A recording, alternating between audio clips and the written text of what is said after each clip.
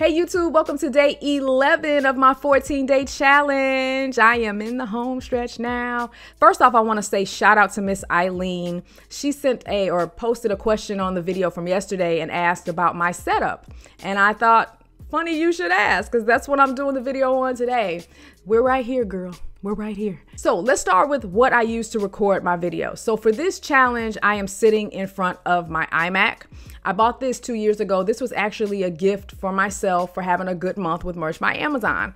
And you guys, I'm not one of those Mac users that's like anti Windows. I used Windows and Mac for a long time, like simultaneously. If you might remember my older videos, I had a Windows computer behind me and then I switched to the Mac. But even when I was using Windows, I had been using my MacBook Pro as my travel la laptop. So anytime I travel, I always have that with me. So I was very familiar with Mac when I did the switch over to the iMac. But I have to say, there are certain things that I do miss about Windows. It's funny how people are so territorial over Mac versus Windows. I'm like, they're just machines. Like, why are people so doggone defensive over which one's better? I think they both have pluses and minuses, you know, if I'm honest. But one thing I like about this setup, and this is why you see more videos here now, is it's just more convenient. And one of the things with consistency on YouTube with me, I have to make it easy for myself because one of the things I've learned through this challenge, I underestimated how much work I was putting into editing and, and doing videos. And I don't even really have these super, super high caliber videos, but it takes time to do these videos. And if I'm gonna have some videos that, you know, look fairly decent, I have to make it easy to start recording. If I have to set up the camera, get the lighting right, and all that stuff, all I have to do to record is sit down in my chair, open my software, and hit record. And this makes it easy. So that's why you've been seeing a lot of videos from this vantage point. Okay, what mic do I use? I use, as I'm sure a lot of you already can tell by seeing it, I use the Blue Yeti USB mic. This is the one thing I want to change. I've had this mic for, I guess it's going on six years now. And the thing I hate about this mic the most is that it is super, super sensitive. If you just listen for a second, you can probably hear my thoughts.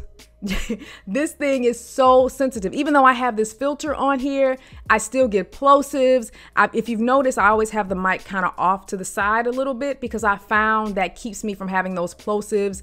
And I'm just, I'm just ready for something different. It's too, too sensitive. Now, when I travel, sometimes I'm recording my podcast in a different location and I have a Audio Technica mic. I'll have to put up the, the model because I don't remember off the top of my head. I like that mic a little better because it's a little less sensitive and the sound is just a little richer.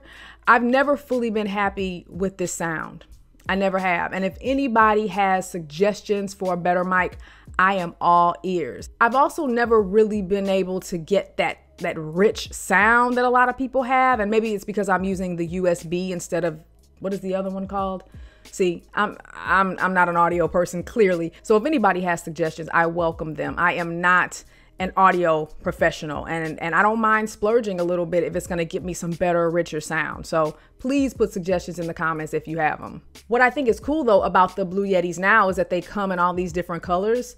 I have the silver and that's all they had when I bought mine in, in 2013. But as you can see, they have a lot of different colors now. But I would love to get that rich sound that some people have. I just don't know how to do it, if I'm honest. Uh, but this is also the mic that I use on my podcast as well.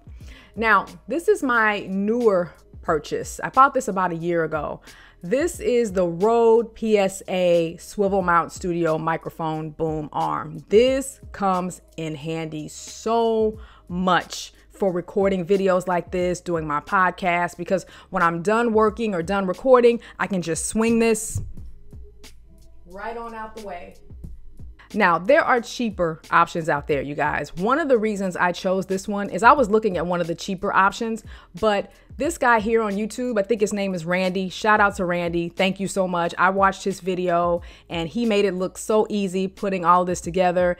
And as you can see, he's using the shock mount. Um, I also have the shock mount, so he shows you how to put everything together. I love the fact that you don't have to drill a hole into your desk. It just sort of fits on the side. But his video is what encouraged me to get this setup. Some of the other cheaper products that I was reading online, the reviews weren't that good. At all. And that made me nervous, but the reviews for this were really good. And one thing that really drew me to this was that it's very, very sturdy. And it is. And I've had this for about a year now and I love it. So the other thing I had to get because I have the PSA 1 Rode boom arm is you need a shock mount for the Blue Yeti. So this is what my Blue Yeti sits on. This thing looks very industrial. If you're looking for something sexy, this is not it.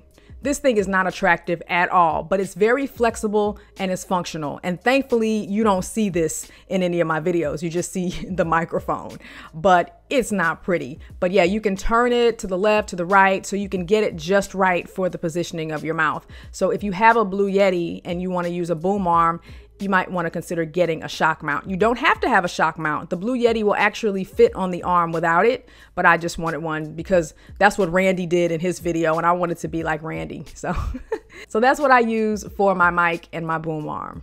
I also have a pop filter on the Blue Yeti because it's so sensitive, but it doesn't always work. And this is not you know, like the cheap ones either. I mean, the first one I had was like, I don't know, $8. So someone said, you know, no, get the one for 20, it'll be better. I still have issues with the popping sounds, the plosives, even with the screen on. So again, if anybody has suggestions, I welcome them. This is the one part of my setup I really would like to change.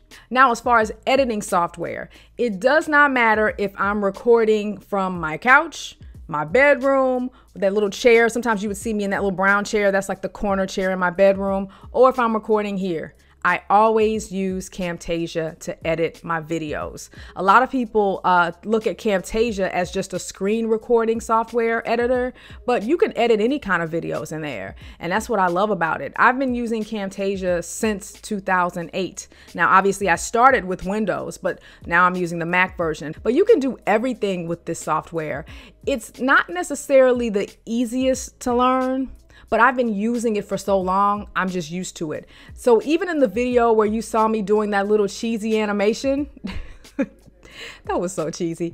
I did that in Camtasia. So if you want to do like animated intros for your videos and stuff like that, you can actually do that in Camtasia. Once you learn the animation feature of the software, you can really, really do a lot of things. So every single video that you see me do, it doesn't matter where I'm recording, I always edit in Camtasia just because that's that's my comfort zone. Now, I know you see this hefty price tag here. It is expensive, but they've come down. I think I paid 300 for the Windows version back in 08, but when I changed over to my iMac, they gave me a $99 upgrade and that gives you two licenses. So I have one license here on my iMac and then I have another license on my MacBook for travel. I love the picture in a picture thing that Camtasia does and it makes it very convenient for editing. So they put the video of me from the webcam on one track and then they put the screen recording on another track so I can edit them independently. So you might see me moving myself up and then back down, but the screen recording stays still. So there's a lot of flexibility once you really learn how to use the software. Now the background you see in my videos where you see me writing on the chalkboard, that's also done in Camtasia. So I just get an image of a chalkboard that's the same size as the resolution I'm recording in, which is 1920 by 1080.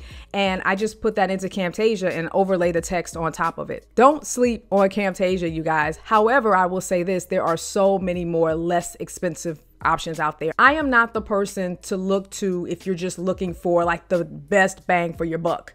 I just use what I'm comfortable with. And when I find something that I like, like Camtasia, I stick to it. Now for the music, sometimes I'll have a little beat playing in the background or whatever. I use Audio Jungle. Now, of course, YouTube now has music that you can use for free, but one thing I've noticed is that you hear some of the same tunes all the time.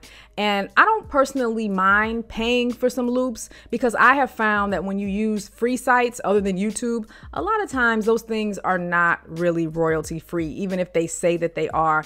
And Envato Market slash Audio Jungle, they're a little bit more reputable. Plus, you get to support some independent artists and stuff like that, which I like to do. The other thing I like about this site is the filters. So, for example, if I'm looking for a piano loop, but if I want to sort by, let's just say length, so if I want something between one second and 10 seconds, then I can sort and then it'll only show me things that fit that requirement.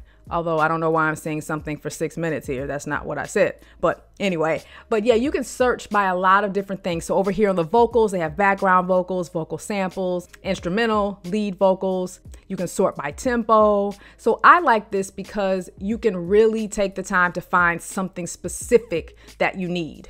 And I haven't found a site that I really like with the sorting and filter features like this has. So yeah, the bottom line is this is just the most convenient setup that I've ever had. It makes it easy for me to record. And if I'm gonna do videos regularly, like I said, I have to make it easy. So if you have any questions about my setup or suggestions, I welcome suggestions. I also want to emphasize that just because I am saying this is what I use, it doesn't necessarily mean that this is what you should use, especially if you're a beginner or if you're on a budget, because there are definitely some cheaper ways to get things done. But this is just what I like to use. So thanks for watching, and I will talk to you later.